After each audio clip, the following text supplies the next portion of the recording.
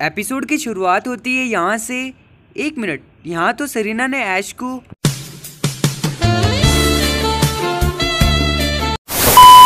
So guys Pokemon की एक और न्यू वीडियो में आप सभी का स्वागत है और आज हम बात करने वाले हैं पोकीमोन जर्नीज के एपिसोड 103 के बारे में। और ये एपिसोड बहुत ज़्यादा कमाल का है और साथ ही में इस एपिसोड में काफ़ी कुछ हुआ है। सो अब ज़्यादा बात नहीं करते हैं और करते हैं इस वीडियो को स्टार्ट एपिसोड की शुरुआत होती है कैलूस रीजन से, जहाँ पर ऐश मिलने वाला था क्लेमेंट और बॉनी से, और यहाँ पर उनका एक छोटा सा फ्लैशबैक दिखाया जाता है, और गो कुछ पोकीमॉन्स को पकड़ने के लिए कैलूस रीजन में जाता है, तभी वो टीवी पे देखता है कि द्रैसना का मैच उसके साथ होने वाला है, और उसको इसके बारे में पता भी नहीं था। वॉट द है कब ऐश बैटल करेगा द्रैसना के साथ और ऐश को इसके बारे में बिल्कुल भी नहीं पता था। अब उसका रैंक फिफ्टीन है और ड्रेसना के साथ वो बैटल करेगा। इसको देखने के बाद वो क्लेमेंट की जिम में जाने के लिए तैयार हो जाता है और यहाँ पर गो डायरेक्ट फ्रॉकी को पकड़ने का ट्राई करता है और फ्रोकी ने भाई उसका मुँह बिगाड़ दिया, जो कि उसने बहुत अच्छा किया। फिर बॉनी उसे दिखाई देती है और वो उसे कहती है कि तुम्हें इसके साथ बैटल करनी पड़ेगी, तभी तुम इसे पकड़ पाओगी। और गो को ये चीज़ कितने लोग बता चुके हैं? जब एच क्लाइमेट के पास पहुँचता है तो वो अपने लग्जरी के साथ बैटल कर रहा होता है और उसके अपोनेंट ट्रेनर को बड़ी आसानी से हरा देता है। और यहाँ पर बहुत सालों बाद हमें क्लाइमेट रिटर्न देखने के लिए मिला है और यहाँ पर लग्जरी और पीकेचू जो कि एक दूसरे से मिलते हैं और ऐश भी क्लाइमेट से मिलके बहुत ज़्यादा खुश था और क्लाइमेट बताता है कि तुम्हारा नेक्स्ट अपोनेंट जो कि बहुत ज़्यादा पावरफुल है और यहाँ पर ऐश अपने पोकीमॉन से इंट्रोड्यूस कराता है और ड्रैगनेट को तुम देख सकते हो और ड्रैगोविच तो भाई हर बार ऐश को अपने मुँह में डाल लेता है और क्लाइमेट अपने पोकीमॉन्स को निकालता है जहाँ पर उसका बनल भी डिगर भी बन चुका था और ये बहुत ज़्यादा अच्छी बात है कि क्लाइमेट के पोकीमॉन भी इवॉल्व हो चुके हैं। और यहाँ पर पोकीबॉल से निकलते ही ऐश का फारफेस जो कि अटैक की प्रैक्टिस करने लग गया था। और ये बहुत अच्छा पोकीमोन है ऐश का। और ड्रैगोविच फारफेच को देख रहा था, शायद उसे कुछ खाने की चीज़ लगी थी, इसलिए वो फारफेच की तरफ़ तेज़ी से भाग के गया और उसकी जो डंडी थी, उसे अपने मुँह में डाल लिया था। जैसे तैसे करके क्लैमेंट और ऐश ने मिलकर उसकी डंडी निकाल दी थी और ऐश ने अपने गैलारियन फारफेच और साथ ही में फॉसिल पोकीमोन ड्रैगोविच के बारे में भी क्लैमेंट को बताया। और उसके बारे में क्लाइमेट को अच्छे से नहीं पता था। लाइक ऐश को ड्रैगोविच ने पकड़ के रखा था और जैसे ही वो चीज़ देखा तो ड्रैगोविच तेज़ी से भाग के गया था। ये सीन बहुत ज़्यादा फनी था और भाई, इसके बाद तो तुम सभी को पता ही है। और यही चीज़ ड्रैगोविच ने वापस की, जहाँ पर वो सरफेज के पास जाकर वापस उसकी डंडी मुँह में डाल लिया था। और अगर मैं सरफेज को फार फारफेज बोल रहा हूँ तो मुझे माफ़ करना। और इस बार तो ड्रैगोविच इसे छोड़ ही नहीं रहा था और सरफेज काफ़ी कोशिश कर रहा था उसे हटाने की। और पता नहीं ड्रैगोविच कौन से ख्यालों में डूबा हुआ था। और यहाँ पर सरफेज अपनी अटैक की प्रैक्टिस कर रहा था, इसलिए उसे बहुत अच्छा चांस मिला और यहाँ पर इससे ब्लास्ट हो जाता है, जिससे सरफेज भी एक साइड गिर जाता है और ड्रैगोविश भी और इस अटैक की वजह से दोनों ही पोकेमोन फेंट हो जाते हैं और यहाँ पर गो फ्रोकी को पकड़ने की कोशिश कर रहा था और कमीने ने भाई पोकीबॉल फेंक के पकड़ ही लिया उसे। व्हाट द फक अब गाइस गो के पास भी एक फ्रोकी है जो कि आगे जाके एक ग्रेनिंजा बनेगा।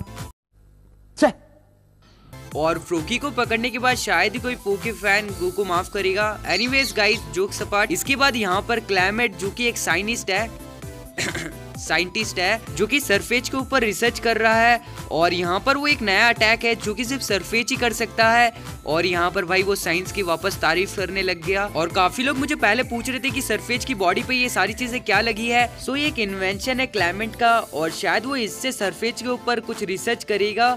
सो so, इसने बहुत सारे डिवाइस बनाए हैं तभी यहाँ पर गो और बॉनी आ जाते हैं और यहाँ पर ही एक दूसरे से इंट्रोड्यूस कराते हैं। जहाँ पर क्लाइमेट गो से मिलता है और गो क्लाइमेट से, और गो क्लाइमेट से मिलकर कहता है कि तुम एक बहुत ही ज़्यादा कमाल के इन्वेंटर हो। और यहाँ पर क्लाइमेट एच के पोकीमॉन को देख चुका था। अब यहाँ पर बॉनी एच के सारे नए पोकीमॉन से मिलती है और वो ड्रैगोविश के साथ बहुत ज़्यादा मज़े करती है। और पहले मुझे ऐश का ड्रैगोविश बिल्कुल भी अच्छा नहीं लगता था, पर आजकल ये मुझे अच्छा लगता है। और इस बार क्लाइमेट ने अपने डिवाइस की मदद से सरफेज को वापस एक अटैक करने के लिए कहा था।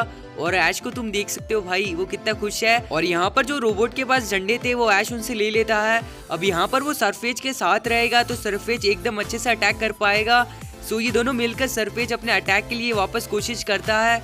और इस बार सरफेज का अटैक सक्सेसफुली हो जाता है, जो कि काफ़ी अच्छी बात थी। और यहाँ पर इस अटैक का नाम था मीटियर एशल्ट और इसे सीखने के लिए यहाँ पर क्लाइमेट ने कुछ मशीन लगाई थी, जिससे वो सरफेज की मूवमेंट्स को देख सके, और साथ ही में जो उसकी पावर थी, वो अपने स्टिक से उसे छोड़ सके, जिससे एक नया अटैक बन सकता है। और इसीलिए ऐश ने अपने ड्रैगोविश को वापस निकाला था, जिससे वो इस पे वापस एक बार एक्सपेरिमेंट कर सके। और एक बार फिर से सरफेच इस अटैक को यूज़ करता है, जो कि सिर्फ़ गलारियन सरफेच से यूज़ कर सकते हैं। बेसिकली यहाँ पर सरफेस ने अपनी पावर का यूज़ किया बट ये पावर बहुत ज़्यादा थी, इसलिए यहाँ पर ये सब कुछ ब्लास्ट हो जाता है। और यहाँ पर तुम सबके थोबड़े देख सकते हो, भाई जल चुके हैं। और यहाँ पर गो का भी मुँह ब्लास्ट हो गया, और बहुत ज़्यादा मज़ा आया गाइस इसे देखकर। अलग ही सुकून मिला है दिल में। ओके थोड़ा ज़्यादा हो गया।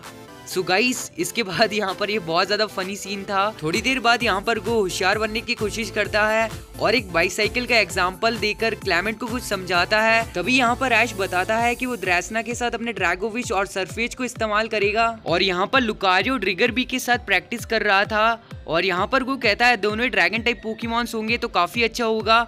इसके बाद हमें क्लाइमेट की एक बैटल देखने के लिए मिलती है ऐश के साथ। अब यहाँ पर ड्रैगोविश अचानक से सरफेज के पास चला जाता है, वो स्टिक को खाने के लिए और पीछे से लग्जरे आता है। और यहाँ पर सरफेज का जो अटैक था, वो पूरी तरह से चार्ज हो जाता है और वो लग्जरी को लग जाता है। जैसे कि सरफेज का एक नया अटैक था, इसलिए ये बहुत पावरफुल था। और तुम यहाँ पर देख सकते हो इसकी पावर और इसके बाद यहाँ पर लग्जरी फेंट हो जाता है। जिसे गुडरा ने बहुत मेहनत से हराया था और यहाँ पर हमारे सरफेस ने एक ही अटैक से इसका कमाल कर दिया। और भाई, ये बहुत ज़्यादा स्ट्रॉन्ग अटैक था। फिर यहाँ पर क्लाइमेट अपने दूसरे पोकीवान को चूज़ करता है, जो कि होता है ड्रीगर भी। और यहाँ पर ऐश अपना ड्रैगोविश को चूज़ करता है। और ड्रैगोविश ने अपना नया अटैक सीखा है, जो कि है ड्रैगन रश और ये बहुत ज़्यादा स्ट्रॉन्ग था और इस एक अटैक से वो ड्रिगर बी को भी फेंट कर देता है। अब तुम देख सकते हो ऐश के पोकीमॉन कितने ज़्यादा पावरफुल हैं, जिन्होंने अपने एक एक अटैक से इन दोनों को फेंट कर दिया और दोनों पोकीमॉन्स ने नए अटैक सीखे थे। और यहाँ पर क्लाइमेट ने ऐश की काफ़ी मदद की बैटल्स में। क्लाइमेट की मदद से ऐश की एक बहुत ही अच्छी प्रैक्टिस हो चुकी थी और यहाँ पर ड्रैगोविश ने वापस ऐश को मुँह में डाल दिया। अब यहाँ पर मुझे ऐश के सरफेच और ड्रैगोविश का बिहेवियर काफ़ी हद तक हैरा क्रॉस और बल्बसौर जैसा लग रहा है। जैसे कि बल्बस और बहुत ज़्यादा मिच्योर था, एकदम सरफेज की जैसे। और इसके बाद हमें द्रैसना देखने के लिए मिलती है। और यहाँ पर विक्सड्रोम क्या कर रहा है? क्या ये द्रसना पे लाइन मार रहा है? जोक सपाट गाइस इसके बाद हमें ड्रेसना के कुछ कूल से पोकेमॉन दिखाए जाते हैं, जो कि बहुत ज़्यादा स्ट्रॉन्ग है और ज़्यादातर ड्रैगन टाइप जैसे कि हमें यहाँ पर कुछ फ्लैशबैक देखने के लिए मिले थे। भाई, एक भी फ्लैशबैक में उन लोगों ने सरीना को नहीं दिखाया इवन जो फुटेज थी उसमें भी नहीं। गाइस सरीना से तुम्हें क्या दिक्कत है पोकेमॉन कंपनी क्यों नहीं दिखा रही उसे? लड़कियों के मामले क्या है जो लड़की हमें चाहिए, उसे हम नहीं चाहिए। और जिसे हम चाहिए, वो किसको चाहिए? सो so गाइस आज के लिए बस इतना ही। आई होप तुम्हें आज की वीडियो पसंद आई होगी। और अगर वीडियो पसंद आई है तो वीडियो को लाइक करो और अपने फ्रेंड्स के साथ इस वीडियो को शेयर करो। और अगर चैनल पे नहीं हो तो चैनल को सब्सक्राइब करो और भी पोकीमॉन की वीडियोस के लिए। सो so गाइस आज के लिए बस इतना ही। और अगर तुम्हारे जो डाउट्स है, तुम मुझे कॉमेंट्स में पूछ सकते हो। सो so मैं मिलता हूँ तुम्हें अगली वीडियो में। Until then peace out